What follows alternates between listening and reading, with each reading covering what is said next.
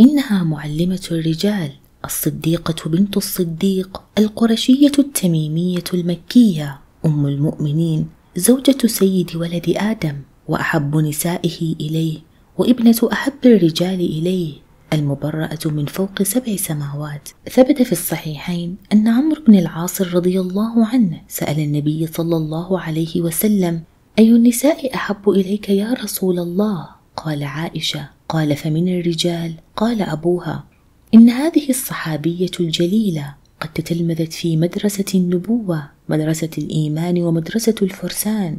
تولاها في طفولتها شيخ المسلمين وأفضلهم أبوها الصديق ورعاها في شبابها نبي البشرية ومعلمها وأكرم البشر وأفضلهم زوجها رسول الله صلى الله عليه وسلم. جمعت من العلم والفضل والبيان ما جعلها تخلف في التاريخ ذويا تتناقل أصداءه العصور.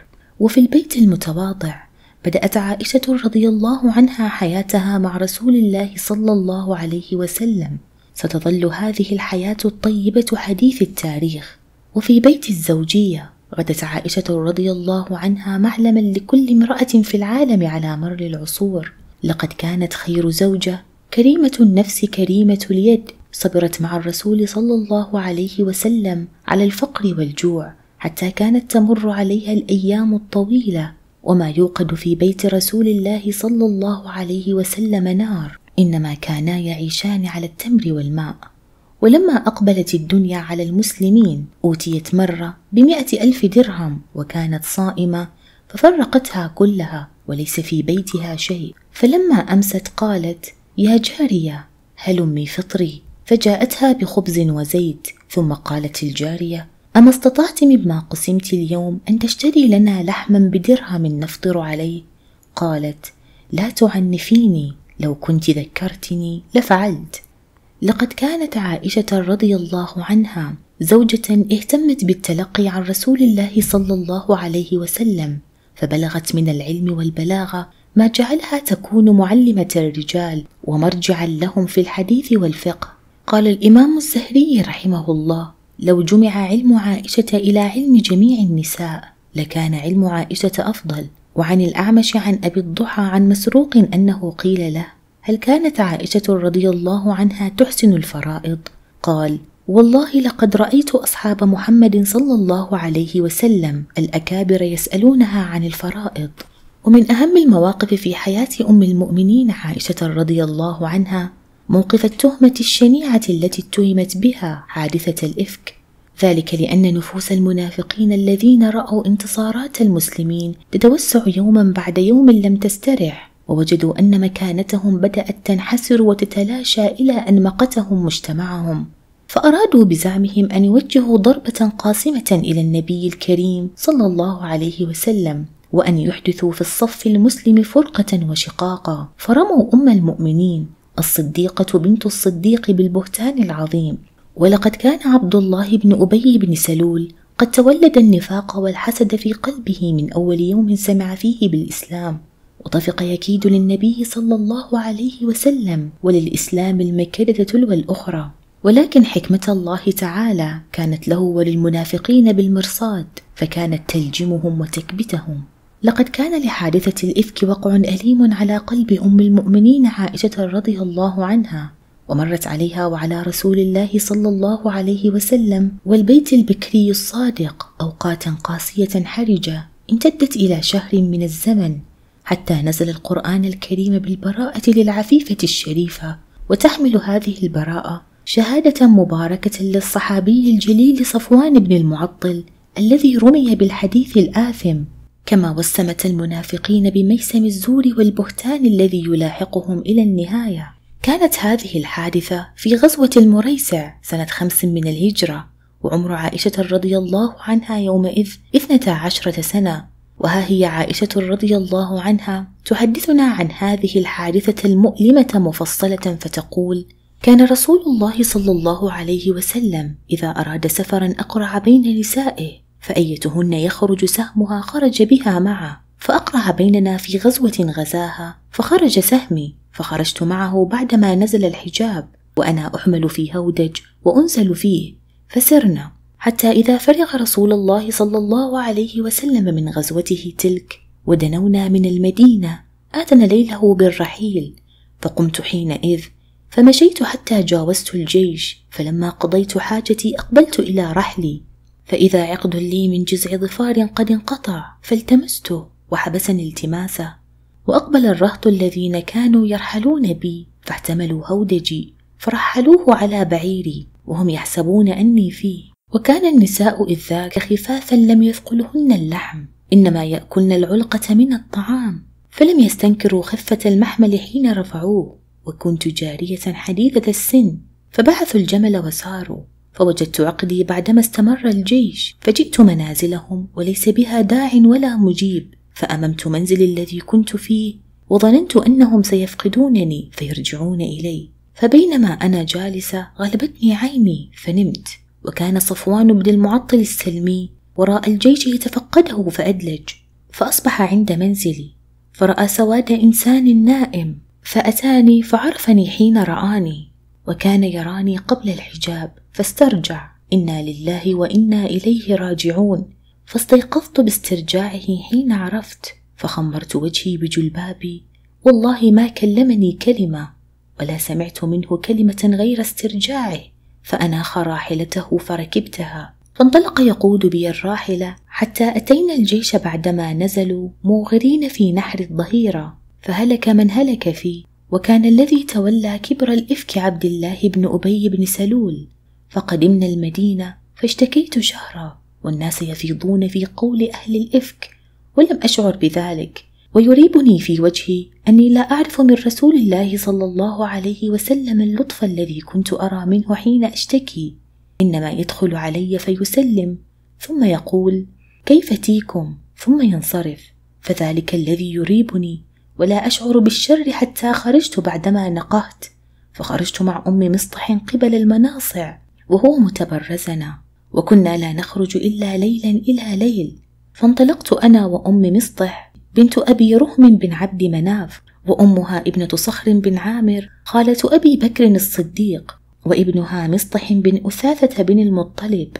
فأقبلت أنا وهي قبل بيتي قد فرغنا من شأننا فعثرت أم مصطح في مرضها فقالت تعس مصطح. فقلت لها بئس ما قلت أتسبين رجلا شهد بدرا؟ قالت أولم تسمعي ما قال؟ قلت وما ذاك؟ فأخبرتني الخبر فازددت مرضا إلى مرضي. فلما رجعت إلى بيتي ودخل علي رسول الله صلى الله عليه وسلم فسلم ثم قال كيف تيكم؟ فقلت أتأذن لي أن آتي أبوي؟ وأنا حينئذ أريد أن أستيقن الخبر من قبلهما. فأذن لي. فجئت أبوي فقلت يا أمتاه ما يتحدث الناس؟ قالت يا بني هوني عليك. فوالله لقلما كانت امرأة وضيئة عند رجل يحبها لها ضرائر إلا كثرن عليها. فقلت سبحان الله وقد تحدث الناس بهذا. فبكيت الليلة حتى لا يقرأ لي دمع ولا أتحل بنوم. ثم أصبحت أبكي. فدعا رسول الله صلى الله عليه وسلم علي بن أبي طالب وأسامة بن زيد حتى استلبث الوحي يستأمرهما في فراق أهله. فأما أسامة فأشار على رسول الله صلى الله عليه وسلم بالذي يعلم من براءة أهله وبالذي يعلم لهم في نفسه من الود فقال يا رسول الله أهلك ولا نعلم إلا خيرا. وأما علي فقال لم يضيق الله عليك. والنساء سواها كثير واسأل الجارية تصدقك. فدعا رسول الله صلى الله عليه وسلم بريرة فقال أي بريرة هل رأيت من شيء يريبك؟ قالت لا والذي بعثك بالحق. إن رأيت عليها أمرا أمغصه عليها أكثر من أنها جارية حديثة السن.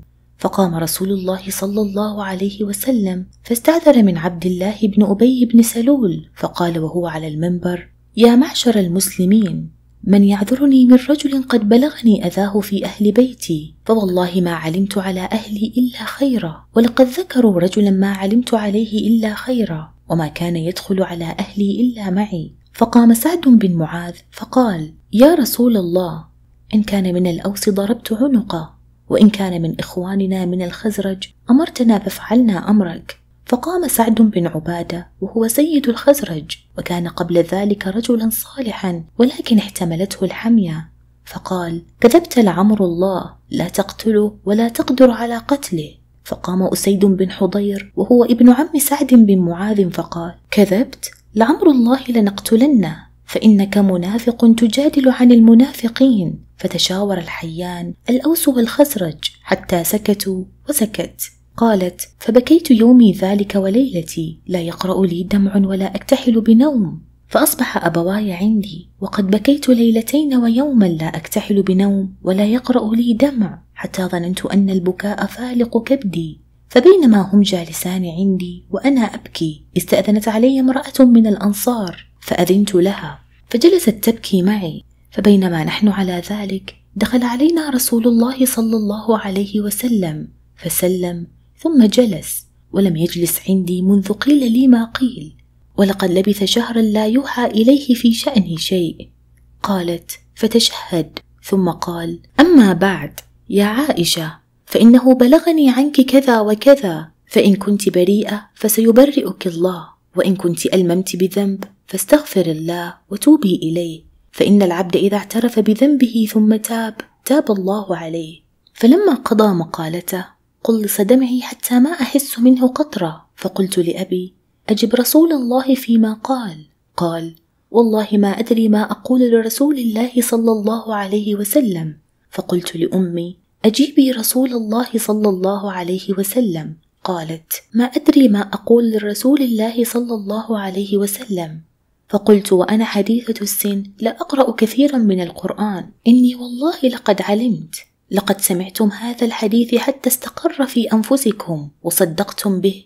فلئن قلت لكم إني بريئة والله يعلم أني بريئة لا تصدقونني بذلك. ولئن اعترفت لكم بأمر والله يعلم أني بريئة لتصدقني. والله ما أجد لي ولكم مثلا إلا قول أبي يوسف فصبر جميل والله المستعان على ما تصفون. ثم تحولت فاضطجعت على فراشي وأنا أعلم أني بريئة. وأن الله تعالى يبرئني ببراءتي. ولكن والله ما ظننت أن الله ينزل في شأني وحيا يتلى. ولشأني كان في نفسي أحقر من أن يتكلم الله في أمر يتلى. ولكن كنت أرجو أن يرى رسول الله صلى الله عليه وسلم في النوم رؤيا يبرئني الله بها. قالت فوالله ما قام رسول الله صلى الله عليه وسلم ولا خرج أحد من أهل البيت حتى نزل عليه الوحي. فأخذه ما كان يأخذه من البرحاء حتى إنه لينحدر منه مثل الجمان من العرق وهو في يوم شات من ثقل القول الذي ينزل عليه. فلما سري وهو يضحك قال يا عائشة أما والله لقد برأك الله. فقالت أمي قومي إليه. فقلت والله لا أقوم إليه ولا أحمد إلا الله. وأنزل الله براءتها في سورة النور وبرأها الله من فوق سبع سماوات. قالت وكان رسول الله صلى الله عليه وسلم يسأل زينب بنت جحش عن أمري فقالت أحمي سمعي وبصري ما علمت إلا خيرا وهي التي كانت تساميني من أزواج النبي صلى الله عليه وسلم فعصمها الله تعالى بالورع وطفقت أختها حمنة بنت جحش تحارب لها فهلكت في من هلك من أصحاب الإفك. وهكذا أكرم الله تعالى المؤمنين بفضله ورد كيد المنافقين إلى نحورهم وتوفيت عائشة رضي الله عنها ليلة الثلاثاء السابع عشر من رمضان سنة ثمان وخمسين من الهجرة وهي ابنة ست وستين سنة ودفنت بالبقيع من ليلتها بعد صلاة الوتر. فرضي الله تعالى عن الصديقة بنت الصديق وأكرم في جنات الخلد مثواها ورزق المسلمين الاقتداء بها والسير على طريقها.